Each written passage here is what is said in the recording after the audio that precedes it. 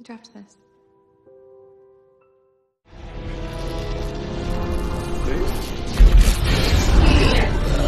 Who put the curse on them? It's the devil himself. These are the fallen, exiled from heaven. They wander the earth, banished until the rebel angel abandons love and takes the side. 어떠한 사유에선지 쫓기듯 전학을 가는 루신다. 그곳은 기존 학교에 적응하지 못하는 학생들이 모인 기숙학교였죠. Welcome to Sword and Cross Academy. For over 75 years, we have served adolescents who, because of social and or emotional challenges that they face, have been unable to thrive in a traditional academic environment. 하지만 고풍스러운 학교의 분위기와는 어울리지 않는 반항적인 모습의 학생이 그곳의 분위기를 말해줍니다. 게다가 처음 본 에리언의 충고까지. 루스에게 필요한 건 한시라도 빨리 이곳에 적응하는 것이죠.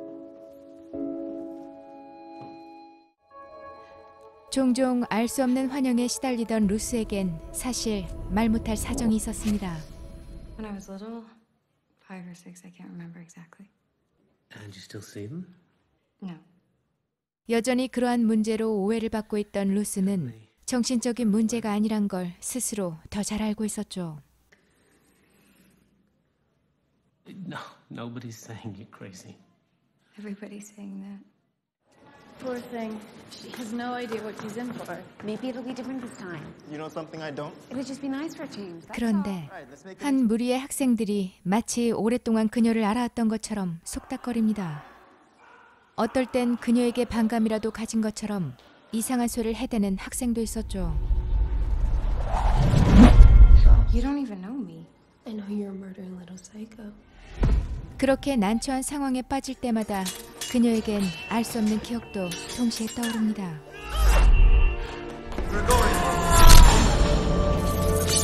Lucinda Price. Yeah. I'm Miss Sophia. You're in my philosophy of religion class.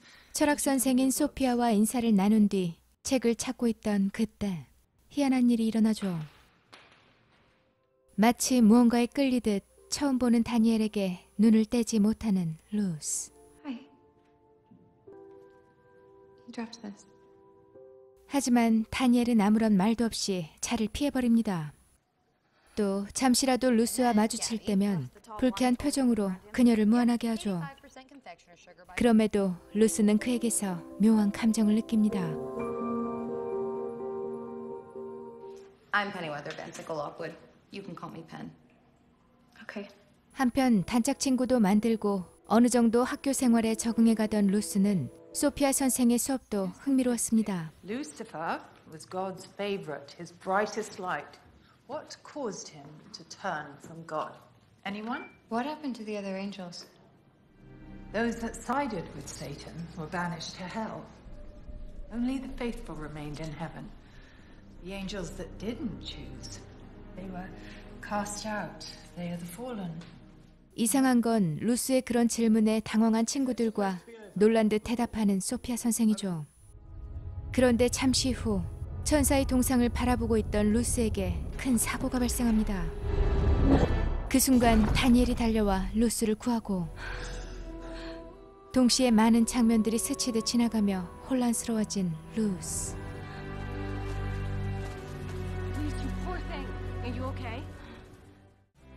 Don't tell me. Is Cam in love? What? It's just you seem really familiar to me. Like I know you from somewhere. Is that possible? No. 자신을 피해 다니던 다니엘이 낯설지 않던 루스는 그 이유를 알고 싶었죠. 그러나 여전히 해답은 찾지 못하고 Hey, new girl.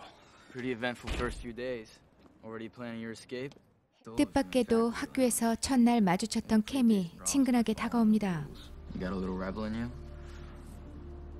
I'm just misunderstood. I just know what I like. And you don't mind breaking the rules to get it.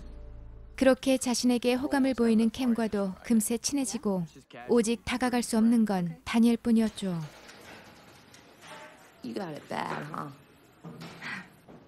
I have full access to everybody's academic records. I looked at Daniel's file. It's empty. 그런 루스의 감정을 짐작하고 있던 팬은 학교 친구들에 대한 정보를 자세히 들려주죠. And then Gabby. Ugh, the tall blonde that's always hanging around him. Yep, 85% confectioner sugar by volume. Then Ariane. Oh, yeah, she showed me around my first day. And Molly, serious defective. And Roland, I have literally no idea how he passes his weekly P test. And then Mr. Future 25 years to life, Cam, transferred in last spring. Miss Sophia, too. She's new this year and totally ignores everyone except her favorites. 마침 팬과 함께 그날 밤 친구들이 여는 파티에 참석한 루스는 늘 다니엘과 함께 있는 개비를 부러운 듯 바라봅니다. So why did you end up at a place like this? Maybe I'm not as innocent as I look. 그런데 다니엘 역시 루스에게 접근하는 캠을 보며 못마땅한 표정을 하고 있었죠. So do you still think about him? Who? The boy you killed? Trevor? Back, back off, Molly! 몰리는 이번에도 이상한 소리를 해대며 그녀를 괴롭히고 Where's Luke's? Um, I don't know. I thought that she was with you. She doesn't need your kind of help. Who's gonna protect her? You? You know, you love birds until relaxed, huh? 평소엔 루스를 외면하던 다니엘도 캠과 언쟁을 벌이죠.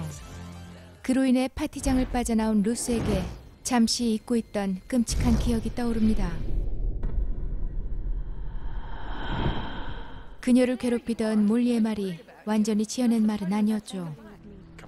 호감을 보이던 트레버라는 친구와 모처럼 좋은 시간을 보내던 어느 날 키스와 동시에 불길한 기운이 몰려오고 그것은 마치 악마의 저주가 내려진 듯 갑자기 모든 걸 태워버렸죠. And then suddenly everything exploded. And I don't know how, but I was outside and Trevor didn't make it. Sorry. 그렇게 괴물이 된 채 쫓기듯 전학으로 온 루스를 팬이 위로합니다. Listen to me. You've got to keep your eye on Cam. What are you talking about? I don't believe the statue was an accident. 한편 우연히 소피아 선생과 다니엘의 비밀 이야기를 듣게 된 루스. 늘 자신에게 무언가를 감추고 있던 다니엘이 수업 내내 그리던 그림은 놀랍게도 루스의 모습이었죠. Every 17 years they meet, and they fall in love, and then just when they're happiest, the girl dies. What happens to the boy? He waits. He doesn't age or change. 그래서였을까요? 갑자기 친절하게 다가온 그가 알 수 없는 이야기를 계속해서 들려줍니다. But then all it takes is a kiss, and she's gone. Who put the curse on them? It was the devil himself. He was jealous of their love, so he tried to break it. 그런데 그 이야기를 한참이나 듣고 있던 루스의 기분이 갑자기 이상해집니다. I've never traveled before. I've never even left the country. But I know that there's a cafe just off to the right, and I know it smells like jasmine after it rains. 그동안 스쳐가던 많은 기억들을 떠올리던 루스를 이번에도 다니엘은 외면하죠. And Luce. Wear something nice. It's party time. 하지만 곧 모든 진실이 밝혀집니다. 캠을 따라 파티에 참석한 루스가 자신을 회피하던 다니엘이 보란 듯이 그와 키스를 하는데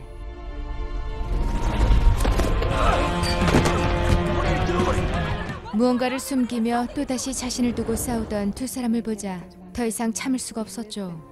My visions are so real, and my feelings are so real. It's like past lives or something. I don't know. And everything's connected to Daniel somehow, but he keeps pushing me away. And Cam's hiding something too. 결국 팬에게 도움을 요청한 루스는 잠시 후 충격적인 사실과 마주합니다. How do you know which room Todd's in?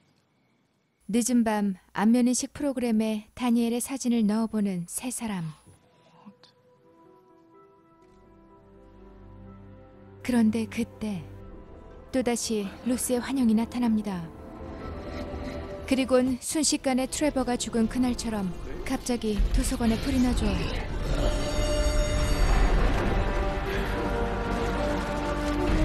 그때 누군가 찾아와 루스를 번쩍 들어올립니다.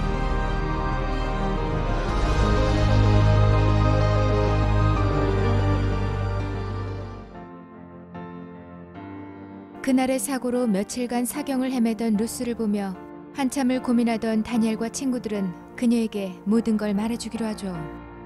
천국에서 지상으로 추방당한 추락천사, 바로 그들이 폴른이었습니다. 과거 인간과 사랑에 빠져 영원한 형벌을 받게 된 다니엘. 매번 환생에서 나타나는 루스와 사랑에 빠지지만 동시에 매번 그녀의 죽음까지 봐야 했죠. 그 죽음을 막기 한다는 변명으로 캠이 그를 방해하지만 결국 그녀의 저주를 풀기 위해 마지막 선택을 하는 다니엘. 그러나 루시퍼의 질투는 사라지지 않습니다. 트와일라이트과 너무나도 흡사한 이 작품은 작가 로렌 케이트의 장편 소설 추락천사를 원작으로 두고 있는데요. 총 6권의 시리즈로 전 세계에서 천만 부 이상 팔려나간 베스트셀러이기도 합니다. 아카데미 남우주연상을 수상한 제프리 러시 주연의 영화 샤인을 연출한 스콧 힉스 감독의 작품이죠. 하지만 앞선 트와일라이트의 어마어마한 인기로 인해 아류작이라는 오명은 피해갈 수 없는 듯 보이는데요. 무엇보다 흡혈귀와 천사만 바뀌었을 뿐 우월하고 훤칠한 존재와 설정 그리고 여주가 처한 독특한 상황까지 판박이라고 해도 과언은 아닙니다. 사실 이 작품 또한 트와일라이트 제작진이 참여한 작품인데요.